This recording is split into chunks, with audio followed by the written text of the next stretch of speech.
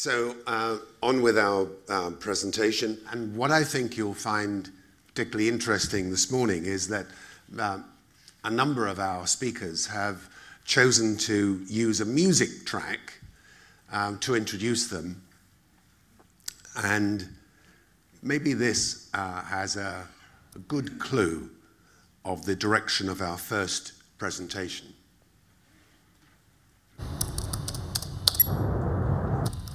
Rain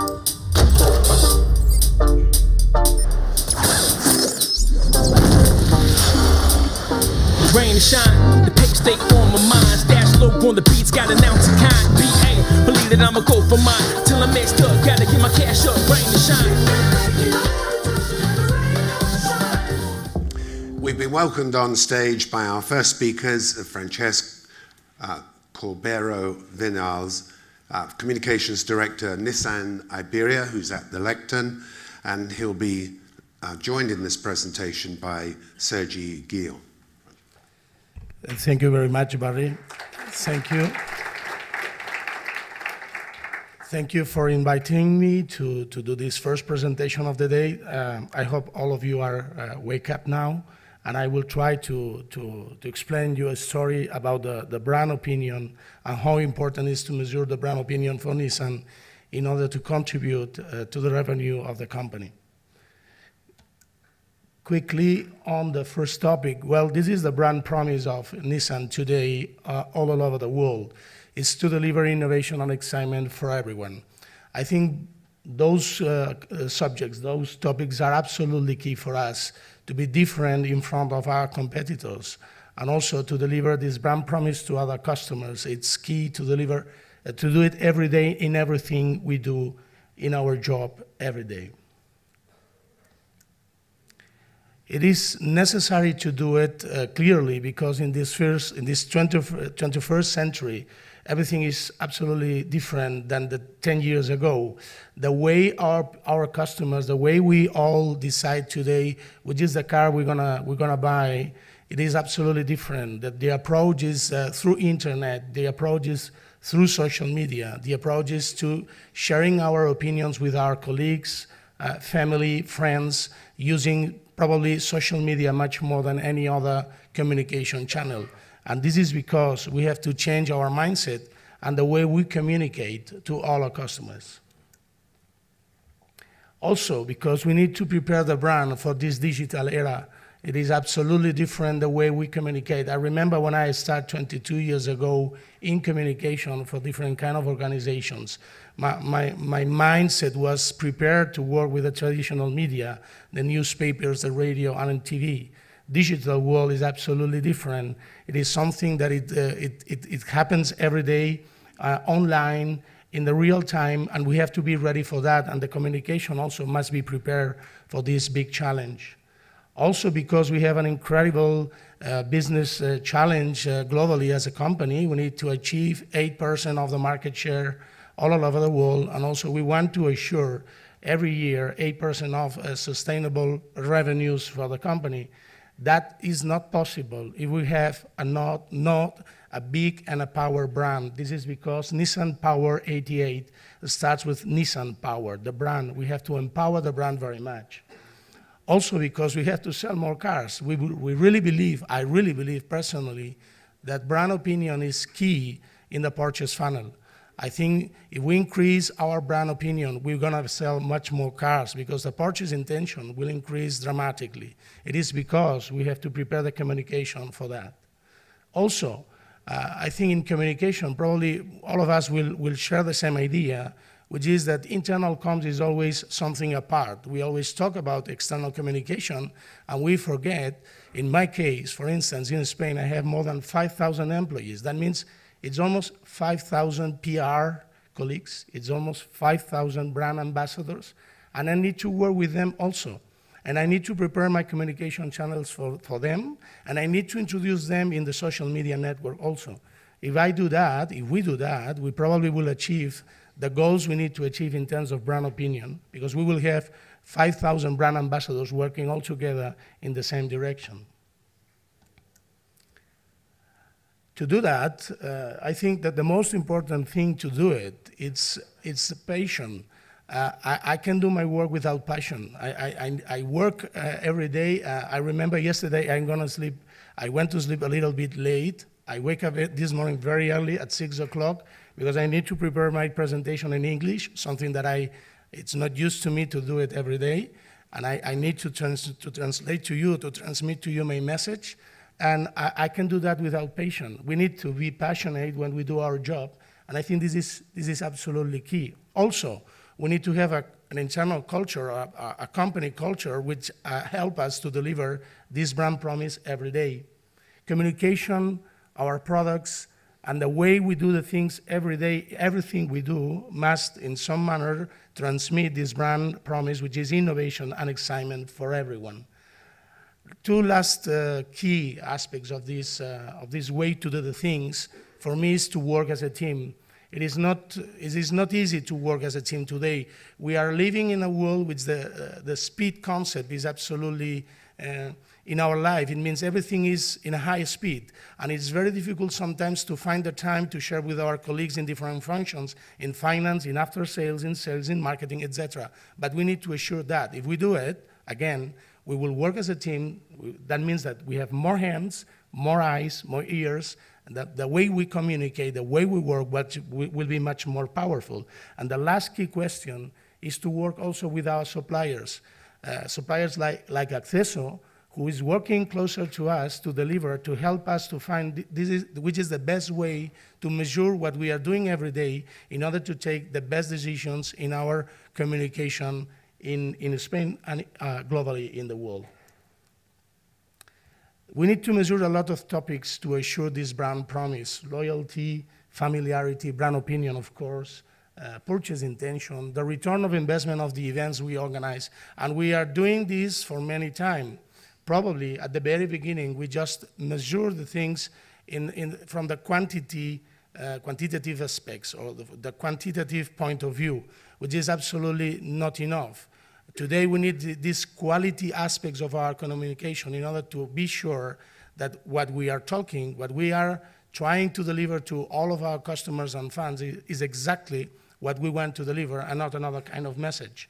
It is because we have to change our way to measure to this 60, uh, 360 degrees uh, measurement system from the traditional media to the social media, observing the whole communication channels and taking into account the tone of voice that we receive from the media, but also which is the tone of voice of the, of the dialogue in the social networks uh, regarding the whole stakeholders. If we can measure that, probably we will be much more closer to assure that what we are doing in communication contributes clearly in the purchase funnel, and that means, in my, my, uh, my point of view, that means to assure that PR function, communication function, is a revenue generator. This is my personal challenge since I started in this field. I want to be a revenue generation for my company. I want to be treated and I want to be uh, listened in the communication uh, in, the, in, the, executive management committee as a revenue generator as the rest of the functions of our organizations. Sorry, Sergi. Sergi is going to introduce now how they help us to do that. Thank you. So the first thing we do is understanding the business problem, what are Francesc's needs and Nissan needs, uh, because our objective will be to measure how communication contributes to, this, to that business objective. Uh, and as in many other companies, Nissan looks at the purchase funnel. So how do we go from awareness to recommendation? Uh, and that is where we focus our measurement to bring that results for the company. How do we do it? For each, for each step of the purchase funnel, we will then define what are the communication objectives or the communication strategy that we will follow to achieve that goal. Then we will decide uh, which media do we have to look at, uh, where is the relevant information to look at. And finally define the metrics that will help us taking decisions. In Nissan, we basically divide the communication objectives and strategies in, in, in three steps. First thing is communication positioning and corporate reputation. This will bring awareness. Second is company and product familiarity and favor favorability. Sorry, it's 8.30. and finally, product differentiation. Of course, we will use different media for each different objective, and metrics will be different. Let's take a very fast look at each of those. If we go back to the brand positioning of Nissan, what we do, what we will do here is define and look for every all the attributes that define each of the value, and then identify how every piece of new, every piece of conversation is supporting uh, each of those attributes. As for corporate reputation, we divide it or split it in two parts. One is the proactive one, and, and here sustainability is the main attribute Nissan wants to uh, bring forward. And the second one is a more defensive one, uh, and we look at the reputational risks. Those are specific risks for automotive industry, but also for Nissan, who has four production plants in, in, in Spain with the risks that that could bring. Finally, for product differentiation, and that would pr probably mean changing also the media we look for, specialized media, for example, uh, conversations, etc. Here we bring, we, we try to analyze the four uh, attributes that Nissan wants to bring to the to the to their consumers: quality, security, experience, and design. So once we have designed th the three communication strategies and all the metrics that will define those, we define different dashboards to help Francesc take decisions. Thank you, Sergi. Exactly the, uh, the, the tools that Acceso deliver to us in different kinds of periods along the, the year. It's uh, the tools we have to use uh, in order to take the best decisions to fill the gap between where we are and where we want to go or when we want to stay in terms of communication. This is uh, a very simple example. I'm sorry because it's full of that and probably it's not easy for you to, to, to, to observe, but the, the main thing is that we split communication in four main areas which is the corporate communication, the product communication, which is probably the most important pillar for automotive company. And then there are two areas of differentiation which are related to our brand promise, which is innovation and excitement. We need to know how each one of those areas contribute every week. This is a weekly report in our communication, in our brand communication. This is key for us, and it is absolutely useful Every week we can, we can see our performance on top of this, um, this uh, slide. We can see which are the peaks and valleys in terms of communication, which is the tone of voice in this communication along the week, if it's positive, neutral, or negative, and why. And also, we can benchmark our communication with a benchmark in the market, today Volkswagen, at least in Spain, and our first competitor in terms of Asian brand, which is Toyota. I, I need to track those brands every week in order to know what they are doing.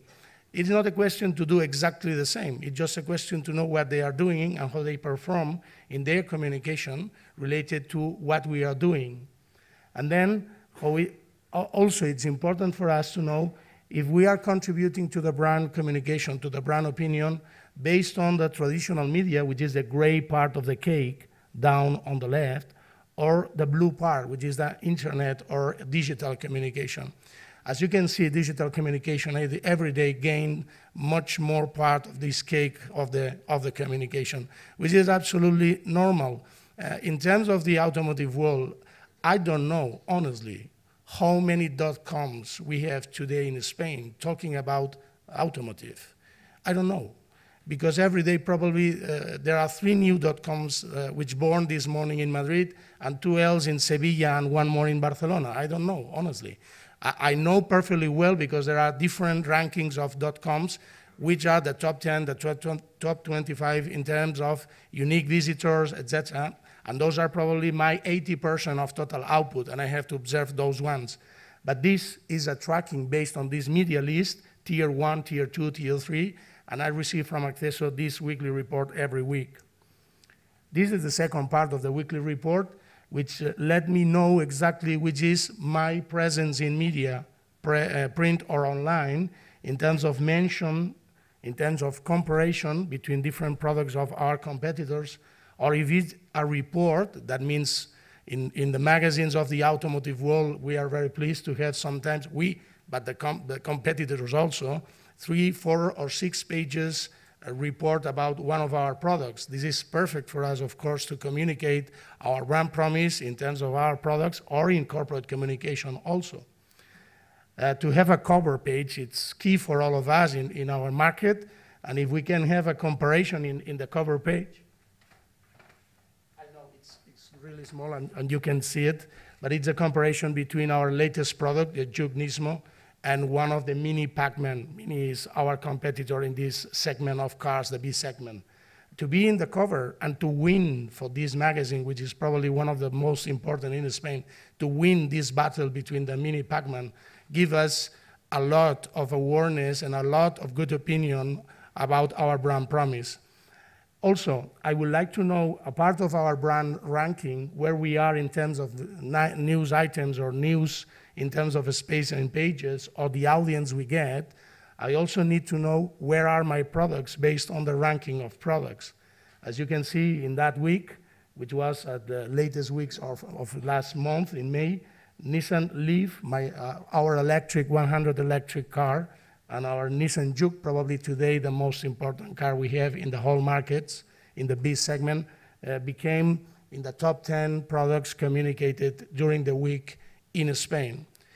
To, to get all of this data, it's key for us to know what, what, where we are, what we are doing, and what, we are, what our competitors are doing also in the same period of time.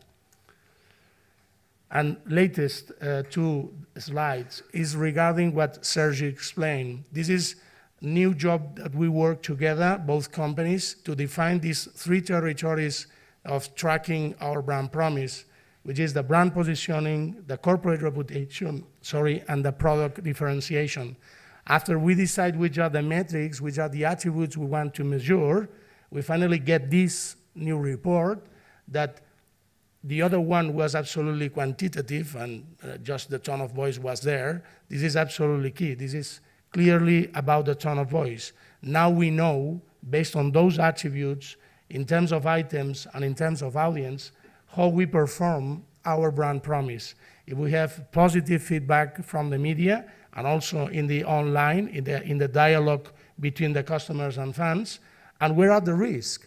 As you can see on the bottom of the page, there is a red boxes uh, in the quality attribute of the products, which is for us, as uh, Sergi mentioned at the beginning, one of the toppest risks we have to face in our automotive world is quality. As soon as we realize that there is a quality issue in the market, we have to go deeper in the problem to know which is the problem itself and then to prepare the solution. This is another part of this report. General media, economic media, specialized media. Those are the three different levels of, uh, of media lists that we work with every week, every day. The general media is the ones, uh, some specific magazines from the big newspapers in Spain, which are talking about motorsports or talking about automotive world, the economic media, which I use particularly for the corporate communication uh, regarding our manufacturing plants in Spain, and then the specialized media, which is absolutely uh, focused in the automotive markets and world.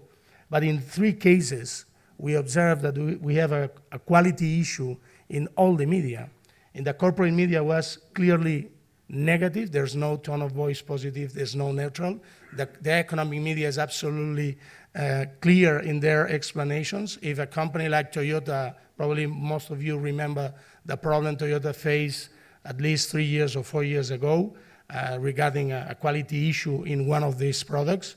And as soon as Nissan has one of those quality recall campaigns that some brands have to deliver or have, has to do when we detect a problem in one of our products, corporate media immediately report that to the whole stakeholders, and we have to be aware of that. Well, finally, the summary. uh, for me, the most important thing, empower the brand is the first objective for us to achieve our global uh, business goals. And empower the brand, the only way to empower the brand is to measure what we are doing in terms of communication. In the digital era, also, we need to prepare our communication and our brand to deliver the brand promise. And finally, for me, three clear objectives why we have to measure what we are doing. Better understanding about the value of PR in the business strategy and regarding the purchase funnel. Use the measurement tools to make every day much more effect effective and efficient communication. And finally, uh, have trustable reporting, which is sometimes it's, it's not uh, quite good because we don't define the clear briefing from the companies like Acceso in order them to work with us to prepare the best tools to take decisions. Thank you very much. I know that 15 minutes is sometimes not enough. My English was not good enough also, but I hope that you receive from me clear message. Measurement is key for me to be a revenue generator, which is I want to be. Thank you very much.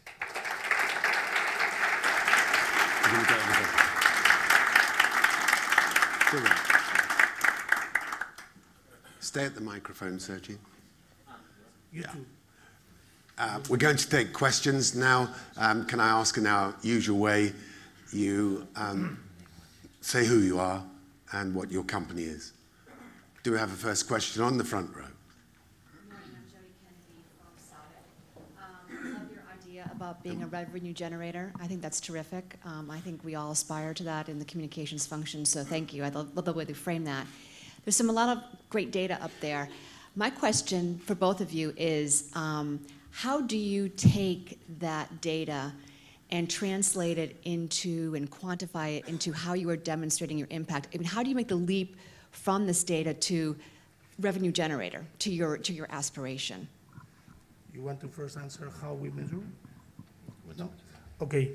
We, I think uh, based on this new report that Acceso prepared for us, we are at the la latest step to really achieve what I want, which is how PR contribute in the purchase funnel. How we measure the purchase funnel. This is a brand tracking, uh, made it globally for our company every quarter.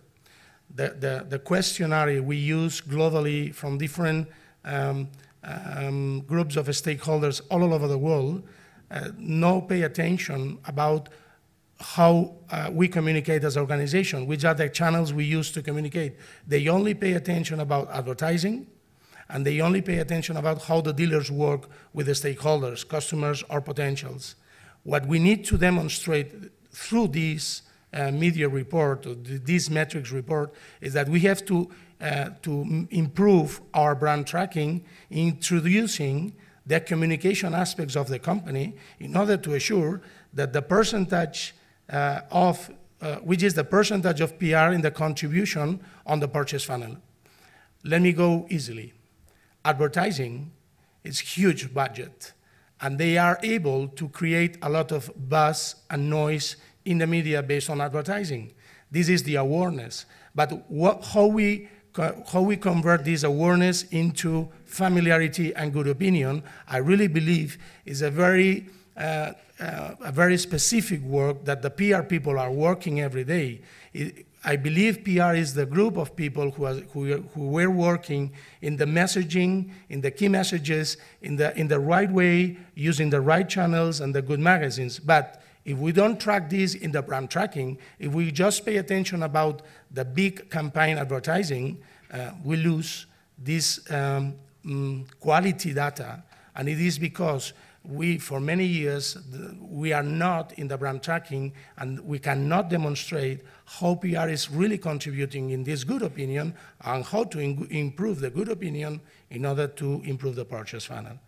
I think the answer is too long, but uh, I hope I answered you let, let, let, me make it a little bit longer. Uh, we, we,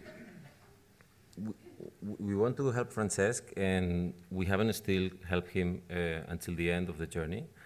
Uh, the end of the journey will be when he can demonstrate that contribution to the purchase funnel, and we haven't gotten to that yet. But now he has the information on which elements uh, contribute to that for each step. So the work we have together now is bringing questions to the questionnaires where they get the purchase funnel information so that they can segment uh, how communication or these attributes that they are working with uh, are brought to their consumers. And then uh, hopefully we will get that information to them, uh, connect both, both worlds. Okay? Uh, I thank Sergi for his explanation. It's much better than mine. So it was a great, it was a great question, good answer, expansive answer. Other questions, please, of uh, Francesc and Sergi during the break. Thank you to you both. Thank you. Thank you.